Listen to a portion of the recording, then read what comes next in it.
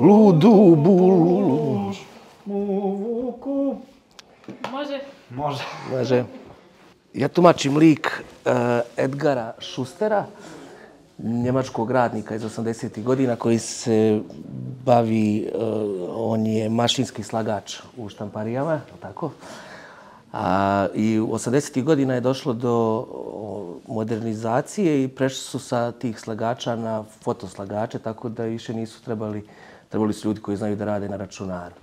Tako da se ova predstava bavi malo ti, to modernizacijom, eh, što je jako u stvari mm, se može povezati sa današ, današnjim vremenom, zato što eh, svjedočimo eh, ekspresnoj promjeni ljudi, zamjenom ljudi u, u robotima, tako da će biti vrlo aktuelna predstava a, I kako u stvari uopšte takav jedan sistem melje ljude koji su uh, vrijedni, radni i žele samo da imaju svoje zanimanje, vrlo jednostavno.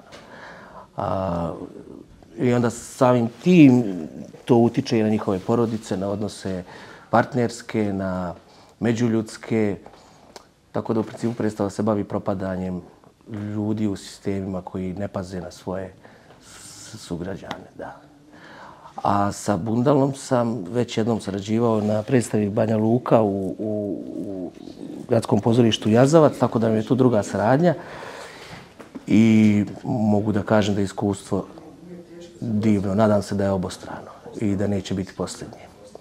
Tu je moj kolega Ilija, koji je mlad glumac, 99. godište, absolvent na akademiji. E, jako talentovan i nadam se da je pred njim blistava pozorišna, a možda i filmska.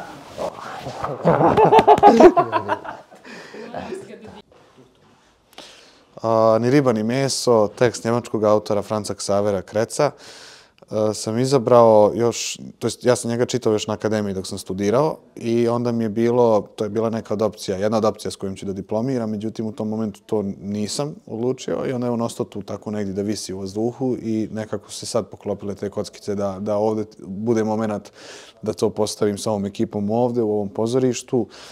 I Krec je autor koji je ovdje vrlo dobro prošao prošli put. Eh, bila je predstava Staza divljači također po njegovom tekstu. To je predstava koja je bila jako uspješna i kod publike i na festivalima, tako da je ovo povratak Kreca na, na, na, na, ove, na, na ove daske ovdje u Narodnom.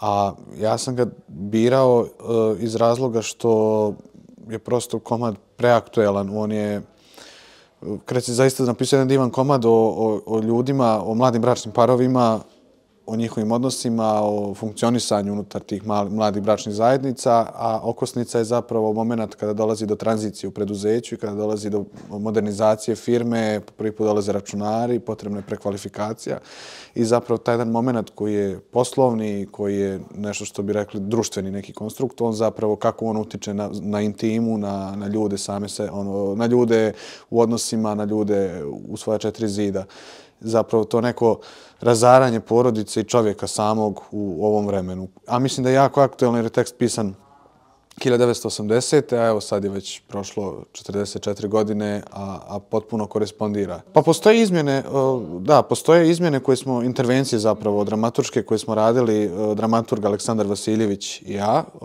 mi smo se dosta bavili zapravo, pošto tekst je onako dosta dugačak i on otvara mnoga neka pitanja, Tako da mi nismo radili tu vrstu adaptacije gdje sad mi nešto mijenjamo ili prebacujemo, ali smo unutar tog teksta zapravo samo trudili se da izoštrimo šta je naš fokus, šta je naša priča i koje su neke teme koje mi želimo da daberemo ovdje. Prosto tih tema ima previše u komadu i one su sve aktuelne i dobre, ali nama je bilo bitno ovdje da izoštrimo iz scene u scenu zapravo da ostavimo ono što je nama ovdje bitno za našu postavku i šta je negdje naš ugao gledanja uopšte.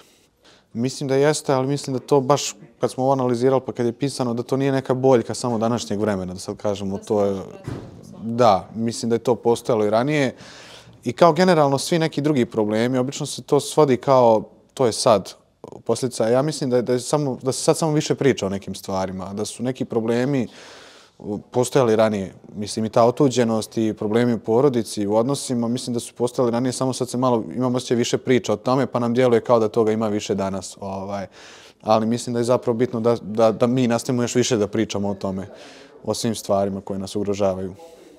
Ja, ja zaista sam zadovoljan. Mislim, mi smo zaista lijepo sarađivali. To isto se onako vrlo često ljudi govore posle saradnja je bila lijepa, ali ovdje zaista mislim da je tako bilo. Ovaj, mislim da je bitna stvar što smo svi tu negdje vršnjaci kao prvo.